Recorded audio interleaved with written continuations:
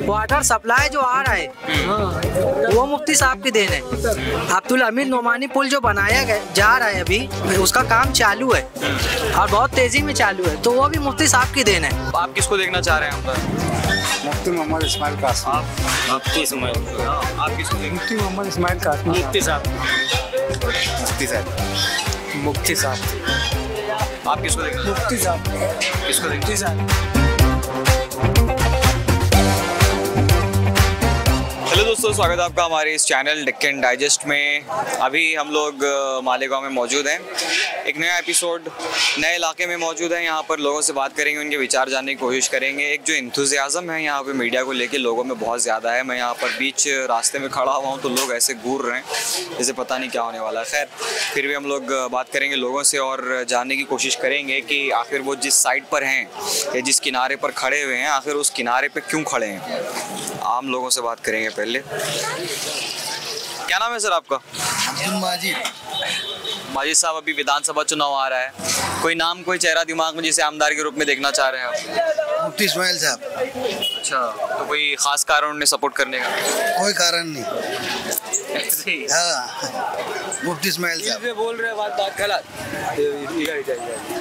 दिल से बोल रहे हैं ना मुफ्ती इस्माइल बात बात करा दो। कारण उड़न बात जानने की ज़रूरत क्या नहीं मतलब कोई तो वजह होती है ना अगर किसी को सपोर्ट करते हैं आप। जी अभी आमदार किसको देखना चाह रहे हैं सर? मुफ्ती साहब को। कोई खास वजह उसके पीछे? कोई वजह नहीं है बस वही आएँगे बस। वजह को, कोई तो वजह होती है ना सर किसी को सपोर्ट करते हैं आप तो। कोई वजह नहीं है उसकी उनकी वजह जो है कि हम लोग उनको मानने वाले ज़्यादा हैं। अच्छा।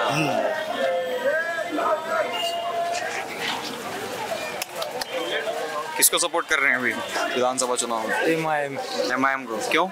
बस ऐसी। सब इधर वही है पूरा गढ़ वही है एम आई एम मतलब ठीक है सपोर्ट कर रहे हैं अच्छी बात है मगर रीजन तो होना चाहिए ना। वजह तो बताओ उसके पीछे की। सबका एक लाटला रहता अपना अपना रहता। हमारे मुफ्ती साहब है हम उसको कर रहे।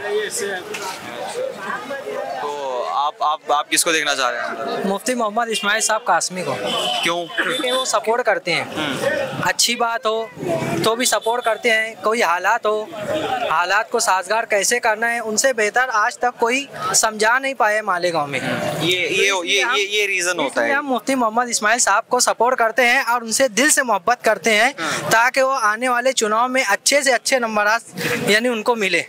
और कामयाबी इंशाल्लाह मुफ्ती इसमाइल साहब की होगी। ये ऐसा हमारा गुमान है।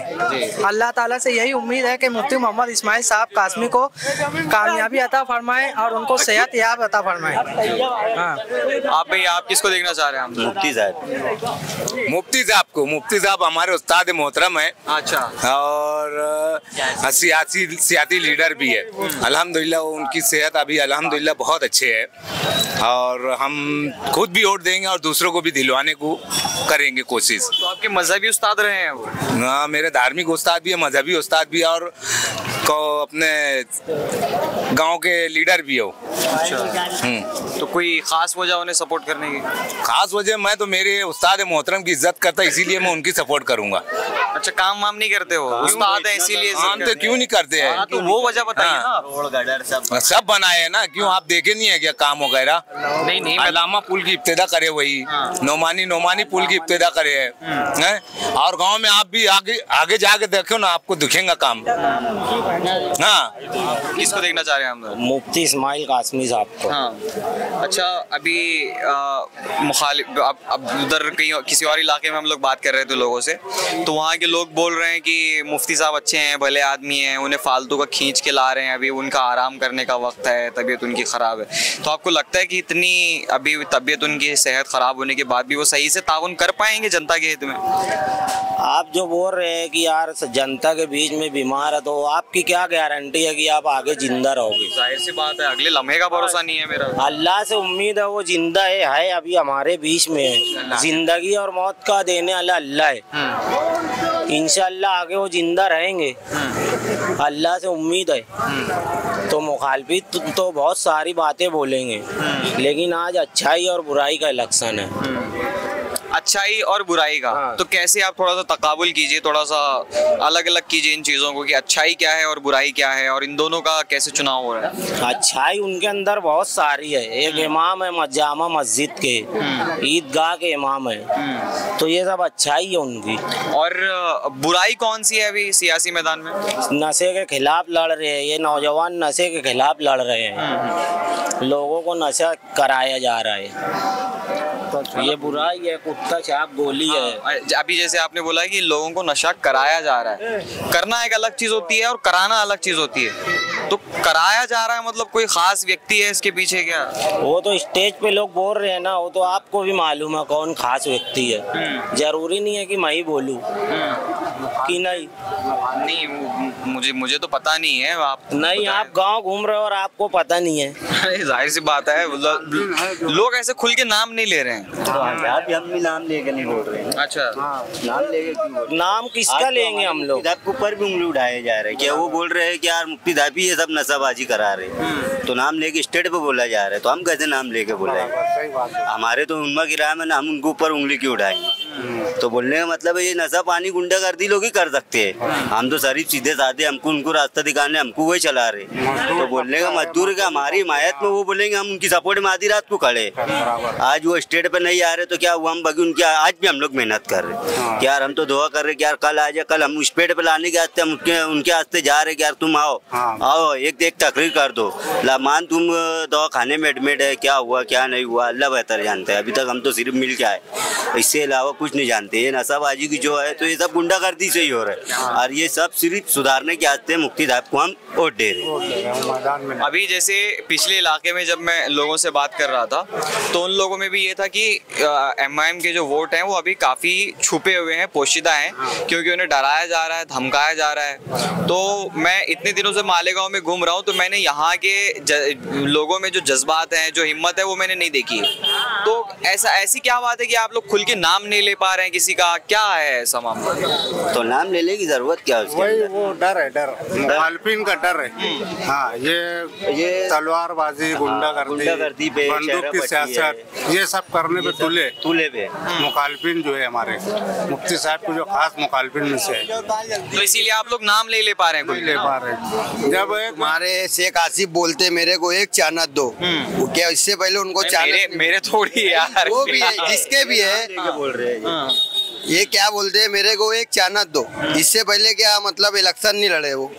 इससे पहले चांस तो मिला ना मगर क्या करे पूरा खानवादा पूरा गाँव का मैया बहन कर दिए। पूरा मतलब पूरा परिवार है ना। अभी तो ये जैसे मुफ्ती साहब अकेले। हाँ। और ये तो पूरा खानवादा ही था ना उनके अंदर। क्या करे? अभी क्या बोलते हैं शेख आसिफ की यार मुझे एक चांस दो खाली। साढ़े सात साल। अभी क्या मतलब पंद्रह बीस साल राज किए ना उन्होंने। अच्छा मुखालिफिन की तरफ़ से एक जो बहुत बड़ा इल्ज़ाम लगाया जाता है एक बात ये भी कही जाती है की पाँच साल जो अभी पिछली बार मौका दिया गया था मुफ्ती साहब को वो इस्तेमाल नहीं कर पाए उसका काम नहीं हुआ है पिछले पाँच साल में। जैसे मुखालिफिन बोल रहे हैं कि काम नहीं हुआ है। अब इनके आगे मुफ्ती साहब क्या बोलते हैं? सर मुफ्ती साहब क्या बोलते हैं? कि यार आप हाईवे पर तो जाइए। वहाँ जो काम चल रहा है वो मुफ्ती साहब की देन है। है ना? वो जो 165 करोड़ का जो है वो मुफ्ती साहब की देन है। वाटर सप्लाई जो आ रहा है वो मुफ्ती साहब की देन है। अब्दुल अमीर नोमानी पुल जो बनाया गया जा रहा है अभी उसका काम चालू है। और बहुत तेज़ी में चालू है। तो वो भी मुफ्ती साहब की देन है। और इन्होंने जो दो पुल बनाए, एक शेख आसिफ साहब ने बनाया जुमा के दिन जो नहाने का पानी बहता है गटरों में, वो नदी में आता है। तो वो नदी में आते ही वो पुल डूब जाता है। इतना छोटा बनाए वो।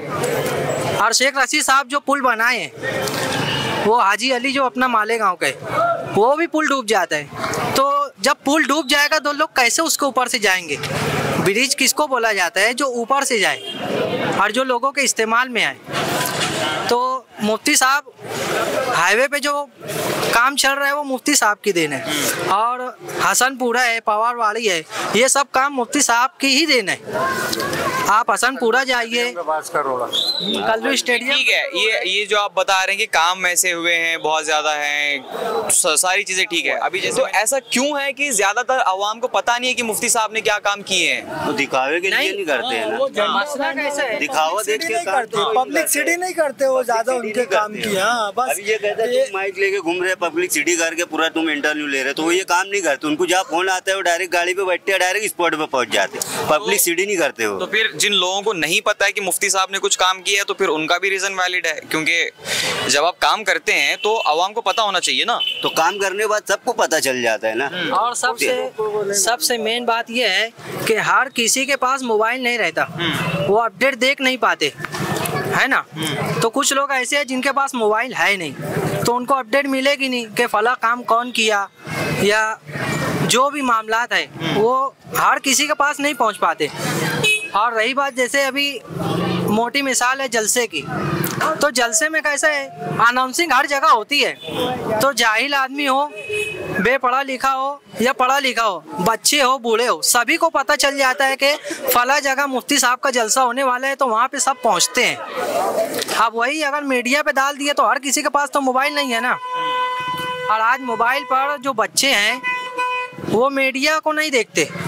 वो सिर्फ़ वो पबजी खेलने में बिज़ी है। है ना? तो उनको कैसे पता चलेगा? जब वो पबजी से बाहर आएँगे तो मालूम पड़ेगा ना कि मुफ्ती साहब ने क्या काम किए। जैसे अगर मैं ये भाई को दस रुपये देकर पाउच दिया और बोलूँगा कि फला शख्सों को जिंदाबाद बोल तो वो बोल देगा, क्योंकि वो पाउच खा रहा है ना। अगर वही बोलेंगे मुफ्ती साहब के लिए बोल तो वो नहीं बोलेगा। क्योंकि मुफ्ती साहब की मोहब्बत बिकाऊ नहीं है।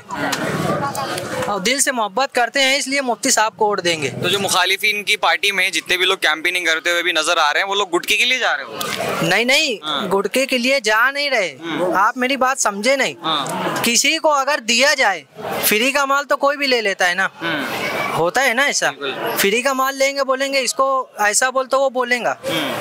और वही जो नशा करते हैं उनको माल ना दिया जाए और उनके खिलाफ बोला जाए तो फिर वो बोलेंगे क्या? नहीं बोलेंगे। ऐसी बात है। सही है। आप आप किसको देखना चाह रहे हैं आमदार? मुफ्ती मोहम्मद इस्माइल कासमी। आप मुफ्ती इस्माइल। आप किसको मुफ्ती मोहम्मद इस्माइल कासमी मुफ्ती साहब। मुफ्ती साहब। मुफ्ती साहब।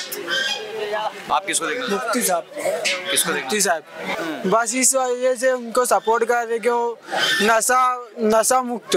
ये जो मुद्दे पे इलेक्शन लड़ रहे वो सही है। आपके कुछ दोस्त हैं जानने वाले जो नशे की वजह से बर्बाद हाँ है। हाँ। इसीलिए तो मैं उनके साथ खड़ा हूँ कि वो जब नशा बंद कराएँगे तो लोग बंद करेंगे नशा तो का आपने अपने दोस्तों को बर्बाद होते हुए देखा है मतलब तो नशे माना करते नहीं मानते तो क्या करूँगा अब मैं उनका माँ उनका बात तो थोड़ी है मार के उनको समझाऊँगा। जी। आमदार किसको देखना चाह रहे हैं? जी मुफ्ती साहब की। तो कोई खास वजह उन्हें सपोर्ट करने है? जी एक तो पार्टी बेस पे है। पार्टी अच्छी है। क्योंकि मुसलमान लोग के हक में वहाँ आवाज़ उठाते हैं। अब ये दूसरी पार्टियाँ हैं इनका कोई भरोसा नहीं। कि कहाँ जाके बैठेंगी क्या करेंगी किसके साथ रहेंगे। अब अवेसी साहब है जो फिर प्लस यहाँ से मालिक भाई है और इनुस दादा है उनके साथ।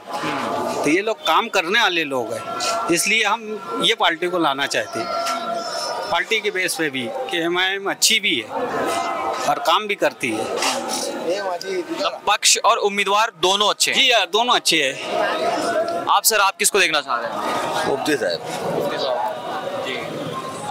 जो मुखालिफिन की तरफ़ से जो इल्ज़ाम लगाए जा रहे हैं कि पिछले पाँच साल में काम नहीं हुआ है अभी उनकी तबीयत ख़राब है तो वो सही से ताउन नहीं कर पाएँगे ये जी एक बात बताइए इससे पहले वो बाप बेटे जो भी थे लोग और थे निहाल साहब पैंतीस साल करे वो उनके हद तक उन्होंने काम किए। ये लोग थे इन्होंने क्या काम किए? इनको बोलते बजट बताओ ये करो वो करो। तो आप इन लोग ने क्या किए? गाँव का सुधार हुआ क्या? विकास हुआ क्या? बड़ी बड़ी कॉलेज आने होना एमआईडीसी आने होना आज बारहवीं डी एड बी एड बच्चे घूम रहे हैं लूम चला रहे हैं नेतागिरी कर रहे हैं। क्यों? यहीं चले हो नासिक में। आज मेरा ही खुद का भांजा है वहाँ पर मैं कंपनी में लगा है उसको चार हज़ार से लगा था आज पच्चीस हज़ार पका पेमेंट हो गई है। आठ घंटे की ड्यूटी इंग करके घूमता है वो। तो ऐसा मालेगांव, जबकि मालेगांव कारपोरेशन से नासिक पैसा उधार लेती थी। एक टाइम ऐसा था। मगर आज क्या है? उसका, नासिक का और अच्छा विकास हुआ है। मालेगांव, जहाँ के वहीं है। इसलिए हम चाहते हैं कि यार अच्छा उम्मीदवार आए। हमारा ऐवान में हमारी पार्टी का वो दबदबा आ रहा है वहाँ पर। कि मुसलमानों के हक में या मालेगांव के हक में बोलना चाहिए वहाँ पर। काम लाना चाहिए यहाँ। अच्छा लोगों में किसी एक उम्मीदवार को लेकर के डर है? क्योंकि लोग बता रहे थे कि खुल के नाम ले ले पा रहे हैं ज़ोर ज़बरदस्ती धमकी वगैरह जैसे मामला जी ऐसे कई वाक़- वाक़यात हुए। हमें मालूम पड़ा कि अपने गांधीनगर में माजिद हाजी जो है मेंबर उनसे तक तक हो गई वहाँ पर। और सब कई जगह हैं कि खुल के लोग आ नहीं पा रहे। किसकी वजह से? ज़ाहिर सी बात है कि एरिया के हिसाब से अब वो खाने पीने वाले जैसे अगर एक अच्छा नागरिक है या अच्छा आदमी है तो ये ये नहीं चाहेगा कि यार कोई खाने पीने वाले से मैं उलझूँ। ये कब भी कुछ भी कर देंगे मारेंगे पीटेंगे इसलिए वो डरते हैं लोग। आप आप में है किसी किसी तरह का डर? नहीं हमें किसमें नहीं है। जी नहीं। तो आप आप भी नाम नहीं ले पा रहे हैं जी देखो नाम लेना बोले तो कैसा है? डायरेक्ट अभी अपने साथ ऐसा हुआ नहीं। मगर आपको डर है कि हो सकता है? हो तो सकता है ना भाई। अपन रोज़मर्रा की ज़िंदगी में रोज काम करो रोज खाओ। यही कारण है यही कारण ऐसे मतलब कुछ लोग और बुराई की लड़ाई है ये। जी। जी। कोई फ़ायदा नहीं है, ना महँगाई कम हो रही, ना और कुछ, ना मजदूरी बढ़ रही। कोई फ़ायदा ही नहीं है, और किसी कोई भी जीत के आए, हमारा कोई फ़ायदा नहीं है कहीं से। कहीं से कहीं तक, सब तरफ़ से हमारा नुकसान है। मजदूर आदमी है जो दिन रात मजदूरी करता, सालों साल मजदूरी करता, लेकिन वो खुद का घर नहीं बना पाता।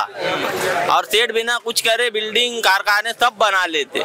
इस पर तो कोई बोलता ही नहीं। अभी आपने जनता के विचार सुने। जो मेजर यहाँ पे इशू है, जो प्राथमिकता लोग जिसको चाहते हैं कि जिस मुद्दे को दी जाए, वो है रोज़गार का। एजुकेशन एम्प्लॉयमेंट महँगाई बेरोजगारी, इन मुद्दों पे बात होनी चाहिए। नशा मुक्ति मतलब नशे की वजह से जो नौजवान बर्बाद हो रहे हैं, वो भी चीज़ें हैं। खैर, आप देख सकते हैं कि ज़्यादातर जो झुका है लोगों का, वो इस इलाके में मुफ्ती इस्माइल साहब की तरफ़ है। अब इस पर आपके क्या विचार है? नीचे कमेंट सेक्शन में कमेंट करके हमें ज़रूर बताएँ। और चैनल को फॉलो और सब्सक्राइब कर लीजिए। पिछले एपिसोड नहीं देखे तो जाके देख लीजिए। और ऐसी खबरों के लिए बने रहिए हमारे चैनल